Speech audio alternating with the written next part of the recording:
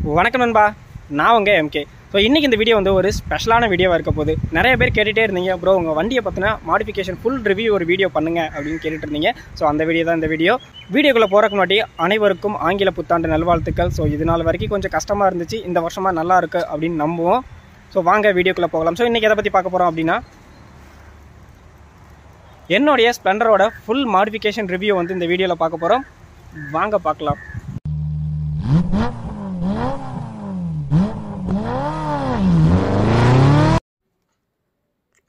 வீடியோக்குள்ளே போகிறக்கு முன்னாடி எல்லாத்துக்குமே ஒரு பெரிய தேங்க்ஸ் காரணம் என்ன அப்படின்னா இந்த வீடியோ அப்லோட் ஆகிறக்குன்னையும் நம்ம சேனல் இருபத்தையாயிரம் சப்ஸ்கிரைபரை ரீச் பண்ணியிருக்கோம் அப்படிங்கிறத நான் முழுசாக நம்புகிறேன் ஸோ எல்லா சப்ஸ்கிரைபருக்கும் ஒரு பெரிய நன்றி.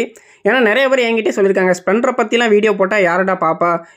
நீ உங்ககிட்ட இருக்கக்கூடிய டூ ஹண்ட்ரட் சிசியை வச்சு ட்ராவல் பண்ணி அந்த மாதிரி விளாக் போடு அப்படின்னு சொல்லிட்டு. ஏன்னா அதுதான் ட்ரெண்டிங்கில் இருக்கிறதுனால அவங்களுக்கு அதுதான் பெருசாக தெரியும். என்னை பொறுத்த வரைக்கும் எனக்கு என்னோடய பைக் பிடிக்கும். என்னோட பேஷனை தான் நான் வந்து வெளிப்படுத்த முடியும். ஸோ அதுக்கு சப்போர்ட்டாக இருந்த எல்லாத்துக்குமே ஒரு பெரிய நன்றி. உங்களுக்கு இந்த வீடியோவில் காட்டக்கூடிய மாடிஃபிகேஷன் அசசரிஸ் எதுவும் வேணும் அப்படின்னா எம்கே பைக்கை பிட்ஸ்டாப் அப்படிங்கிற நம்ம ஷாப்பை கான்டாக்ட் பண்ணுங்கள் மறக்காமல் இந்த சப்போர்ட்டை இன்ஸ்டாகிராமில் ஃபாலோ பண்ணி இன்ஸ்டாகிராமையும் சப்போர்ட் பண்ணுங்கள் அப்படியே ஃப்ரண்ட்ல இருந்து என்னென்ன பண்ணியிருக்கோம் அப்படிங்கிறத டீட்டெயிலாக பார்க்கலாம். கொஞ்ச நாளுக்கு முன்னாடி நான் என்னோட யூடியூப் சேனலில் வந்து பார்த்தீங்க அப்படின்னா இந்த மாடிஃபிகேஷன் மாஸ்க் சேஞ்ச் பண்ணிட்டு ஒரு போஸ்ட் ஒன்று போட்டிருந்தேன். அதை பார்த்துட்டு கீழே ஒருத்தர் கமெண்ட் பண்ணியிருந்தாரு இது வந்து ஸ்ப்ளெண்டர் இல்லை சாகன் அப்படின்னு சொல்லிட்டு. அந்த அளவுக்கு இந்த வண்டி ஸ்ப்ளெண்டர் இல்லை அப்படிங்கிற அளவுக்கு டிஃப்ரெண்ட்டாக அந்த லுக்கு வந்து தெரிஞ்சிருக்கு. ஃப்ரண்ட்லேருந்து பார்த்தீங்க அப்படின்னா உண்மையிலே வந்து லுக் வந்து வேறு மாதிரி இருக்கும். காரணம் வந்து பார்த்தீங்க அப்படின்னா சாகனுடைய மாஸ்க் ப்ளஸ் வைசர் வந்து நம்ம வந்து இந்த வண்டியில் வந்து ஃபிக்ஸ் பண்ணியிருக்கோம். இப்போதைக்கு உள்ளே வந்து எந்த எல்இடி செட்டப்புமே இல்லை ஹாலஜன் தான் கொடுத்துருக்கேன். ஏன்னா நிறைய விதமான எல்இடி வந்து இந்த வண்டியில் ட்ரை பண்ணியிருக்கோம். சுற்றி வந்து பார்த்தீங்க அப்படின்னா ஃப்ளெக்சபிள் டிஆர்எல் வந்து ஃபிக்ஸ் பண்ணியிருக்கோம். ரெட் அண்ட் ப்ளூ காம்பினேஷனில் வந்து நான் வந்து செலக்ட் பண்ணியிருக்கேன். இது வந்து முப்பத்தி ரெண்டு டிஃப்ரெண்ட்டான டைப்ஸில் வந்து ஒர்க் ஆகிறதுக்காக மாக்ஸி அசாடும் வந்து இதோட கனெக்ட் பண்ணியிருக்கோம். அப்படியே கீழே வந்து பார்த்தீங்க அப்படின்னா ஃபோர்க் ரப்பர் வந்து நம்ம வந்து ஃபிக்ஸ் பண்ணியிருக்கோம். இது வந்து லுக்கை வந்து இன்னும் கொஞ்சம் டிஃப்ரெண்ட்டாக கா காட்டி கொடுக்கும் அப்படின்னே சொல்லலாம். இந்த மாஸ்க்குக்கும் ஃபோர்க் ரப்பருக்கும் செமையாக இருக்கும் சைடில் வந்து ஆர்எக்ஸட்டோடைய இண்டிகேட்டர் ஃபிக்ஸ் பண்ணியிருக்கோம். டோட்டலாக எல்லாமே ஃப்ளாட்டாக இருக்குங்க. ஸ்ப்ளெண்டரோடைய டூம் எடுத்துட்டீங்க அப்படின்னா கொஞ்சம் ஒரு மாதிரி ஓவலாக இருக்கும். இண்டிகேட்டர் ஆகட்டும் மாஸ்க் ஆகட்டும் ஃப்ளாட்டாக இருக்கும். ஃபோர்க் ரப்பர் நம்ம வந்து ஃபிக்ஸ் பண்ணியிருக்கிறது. இந்த வண்டியோட லுக்கே வந்து வேறு லெவலில் காட்டும். அடுத்ததாக வந்து பார்த்தீங்க அப்படின்னா ஆர்எக்ஸட்டோடைய கிராஷ் கார்டு வந்து ஃபிக்ஸ் பண்ணியிருக்கோம் இது ஸ்ப்ளெண்டருக்குனே ஸ்பெஷலாக மேக் பண்ணது டேரக்ட் ஃபிட் தான். நீங்கள் ஆர்எக்ஸட்டோடதே வாங்கினா கூட ஒரு சில ஆல்ட்ரு பண்ண வேண்டிய இருக்கும். பட் இந்த கிராஷ் கார்டை பொறுத்த வரைக்கும் எந்த ஆல்ட்ருமே பண்ண வேண்டாம். டோட்டலாக ஃப்ரண்ட்லேருந்து பார்க்குறப்ப வேறு மாதிரி ஒரு லுக்கில் இருக்கும். அலாய் வீல் மட்டும் இல்லை அப்படின்னா இந்த வண்டி வந்து கண்டிப்பாக ஸ்ப்ளெண்டர்னே நம்ப மாட்டாங்க. ஓகே இப்போ டாப்புக்கு வந்துடலாம் மேலே வந்து பார்த்தீங்க அப்படின்னா மேஜராக சொல்லணும் அப்படின்னா வண்டி வந்து ஸ்ப்ளெண்டர் ப்ளஸ்ஸு இந்த ஸ்பீடாமீட்டர் வந்து பார்த்தீங்கன்னா ஸ்ப்ளெண்டர் ப்ரோவோடது நான் ஃபிக்ஸ் பண்ணியிருக்கேன். ஒன் லேக் கிலோமீட்டருக்கு அப்புறம் பழைய கன்சோல் வந்து கொஞ்சம் எரர் ஆச்சு. அதை நான் தூக்கி தூர போட்டு இந்த க்ரோ ஃபினிஷுக்காகவே நான் ப்ரோவோடதை வந்து செலக்ட் பண்ணேன். ஏன்னா விண்டேஜ் லுக் வேணும் ஒரு நைன்டிஸ் லுக் வேணும் அப்படின்னாலே க்ரோ ஃபினிஷ் தான் வந்து முக்கியமாக இருக்கும். மதிய நேரத்தில் என்னோடய வண்டியை நான் வெளியே எடுத்துகிட்டு போனேன் அப்படின்னா இதில் க்ரோம் ஆகட்டும் ஹேண்டில் பார் ஆகட்டும் இண்டிகேட்டரில் கூட பின்னாடி வந்து க்ரோம் ஃபினிஷ் தான் இருக்குது அப்படியே கண்ணு கூசும் அந்த அளவுக்கு வந்து ஒரு செட்டப்பாக இருக்கும்.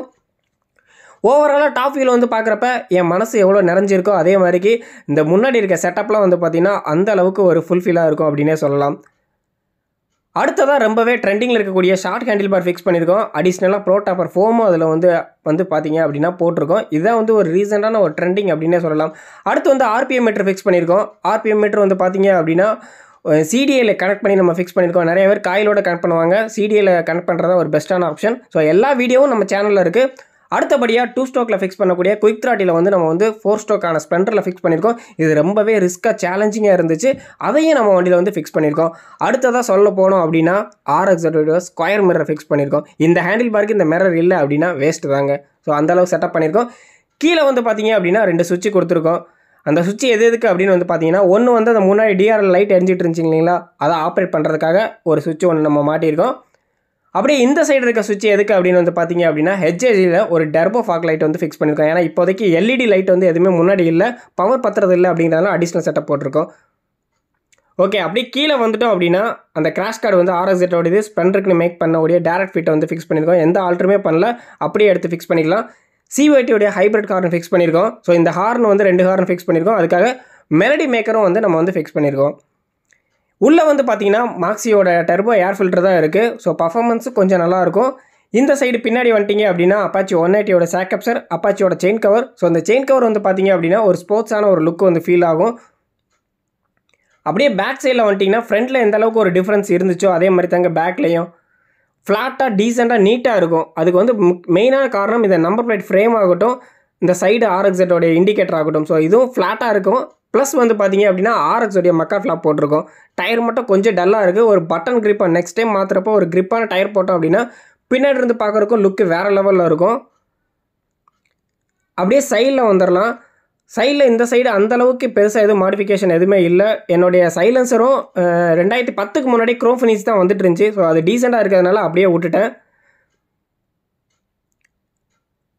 ஓகே இந்த பக்கம் வந்து பார்த்தீங்கன்னா அந்த ஹெச்ஏஜியோடைய லைட்டு நம்ம ஃபிக்ஸ் பண்ணது தெரியும். இன்ஜின் கார்டு மட்டும் இன்னும் கொஞ்சம் பெண்டிங் இருக்குது ஸோ அடுத்து வந்து அது அதுவும் ஆல்ட்ரு பண்ணலான்னு இருக்கிறேன். நிறைய பேர் கேட்டுட்டு இருந்தீங்க ஹேண்டில் பார் ரைஸ் பண்ணுங்கள் ஹைட் பண்ணுங்கள் அப்படின்னுட்டு நான் அந்த வண்டி ஒரு வண்டி ஓட்டி பார்த்தேன் ப்ரோ டிராஃபிக்லாம் அந்தளவுக்கு கம்ஃபர்ட்டாக இல்லை.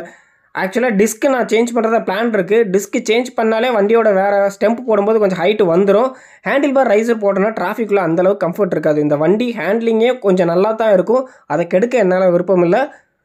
டிஸ்க்கும் இன்ஜின் கார்டும் பார்த்தீங்கன்னா அடுத்து கண்டிப்பாக வரும். மறக்காம நம்ம சேனலை சப்ஸ்கிரைப் பண்ணியிருக்கேன் ஸ்டே டியூனாக இருங்க. கண்டிப்பாக அடுத்த மாடிஃபிகேஷன் வந்து இன்ஜின் கார்டு இல்லை டிஸ்க் வந்து பிளானில் இருக்குது நிறைய பேர் என்கிட்டே சொல்லியிருக்காங்க. ஒரு ஹண்ட்ரட் சிசி பைக்குக்கு ஒரு ஸ்ப்ளெண்டருக்கு இவ்வளோ மாடிஃபிகேஷன் பண்ணுறதெல்லாம் வேஸ்ட்டு ஒரு ஸ்போர்ட்ஸ் பைக்குக்கு பண்ணலாம். இதெல்லாம் வேஸ்ட்டு அப்படிங்கிற மாதிரி. ஏன் ஆர் ஃபிஃப்டினை மாடிஃபிகேஷன் பண்ணால் மட்டும்தான் ஏற்றுக்குவீங்களா ஒரு கேடிஎம் பண்ணால் மட்டும்தான் ஏற்றுக்குவீங்களா எக்ஸாம்பிள் சொல்கிறேன் ஒரு ஒரு ஸ்டூடெண்ட்டாக இருக்கட்டுமே. அவனால் அவனுக்கு கொடுக்குற பாக்கெட் மணியில் கூட இந்த பைக்கை மேனேஜ் பண்ண முடியும். பெட்ரோல் போட்டு யூஸ் பண்ண முடியும். அப்பன் காசில் கேடிஎம் வாங்கிட்டு பெட்ரோலுக்காக அப்பங்கிட்டே போய் நிற்கணுங்கிற அவசியம் இல்லை இந்த பைக்கை பொறுத்த வரைக்கும் ஜஸ்ட் ஒரு மூணு நாள் பாக்கெட் மணி எடுத்து வச்சாலே இந்த பைக்கை சர்வீஸ் பண்ண முடியும். அந்த பைக்கை சர்வீஸ் பண்ணுறதுக்கு மூணு நாள் பாக்கெட் மணியில் பண்ண முடியுமா?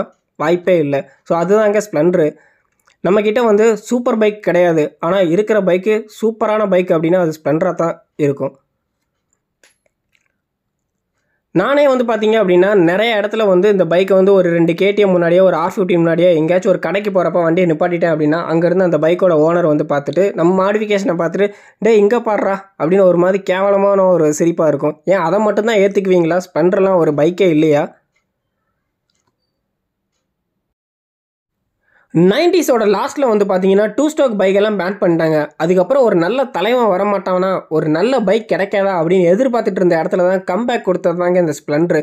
அதெல்லாம் இப்போ இருக்கிற பசங்களுக்கு அந்த அளவுக்கு தெரியறதில்ல அப்படின்னு நான் சொல்ல மாட்டேன். ஏன்னா ஸ்ப்ளெண்டர் வந்து மறுபடியும் கம்பேக் கொடுக்க ஆரம்பிச்சிருச்சு. நிறைய இடத்துல பழைய வண்டியை இன்னும் மெயின்டைன் பண்ண ஆரம்பிச்சிட்டாங்க. பத்து வருஷம் ஓடின வண்டியை ரீஸ்டோர் பண்ண ஆரம்பிச்சிட்டாங்க. இருபது வருஷம் இருந்த வண்டியை ரீஸ்டோர் பண்ண ஆரம்பிச்சிட்டாங்க. அந்த டூ ஸ்டோக்கு எந்த அளவுக்கு முக்கியத்துவம் கொடுக்க ஆரம்பிச்சிட்டாங்களோ அந்த அளவுக்கு நம்மளுடைய லெஜெண்டுக்கும் முக்கியத்துவம் கொடுக்க ஆரம்பிச்சிட்டாங்க. அந்த வகையில் ரொம்பவே சந்தோஷமாக இருக்குது உங்களுக்கு ஸ்ப்ளெண்டரை எந்த அளவுக்கு பிடிக்கும்? நீங்கள் ஸ்ப்ளெண்டர் பைக் வச்சுருக்கீங்களா? அப்படிங்கிறத மறக்காமல் என் கூட ஷேர் பண்ணிக்கங்க. கமெண்ட் செக்ஷனில் ஷேர் பண்ணுங்கள் இந்த வீடியோ உங்களுக்கு பிடிச்சிருக்குன்னு நினைக்கிறேன். ஸோ மறக்காமல் இந்த வீடியோ லைக் பண்ணிவிட்டு நம்ம சேனலை சப்ஸ்கிரைப் பண்ணலைன்னா சப்ஸ்கிரைப் பண்ணிட்டு போயிருங்க.